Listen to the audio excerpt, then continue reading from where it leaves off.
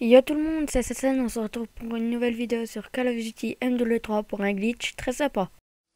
Alors là, je suis sur un mur invisible grâce au glitch. Je suis en compagnie de Vortex70, un pote à moi. Alors c'est pratique ce petit glitch en partie privée et en infecté.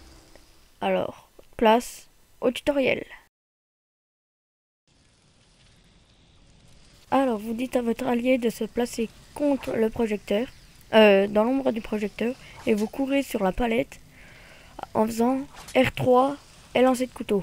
Et comme ça, vous arriverez à monter sur où on était. C'est pratique, c'est génial. Ça met un peu de temps. Au début, j'ai mis, ouais, j'ai mis une demi-heure au début. Après, ça va, je l'ai fait en 5 coups là.